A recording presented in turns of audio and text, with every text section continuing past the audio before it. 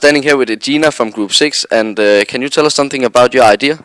Uh, we're designing um, a device that uses motion detection sensors, and it's for mothers um, before giving birth. Using this uh, device, they will learn how to take care of their child, how to hold him properly, how to bathe him. It's for all the family, the father, the brother, sister.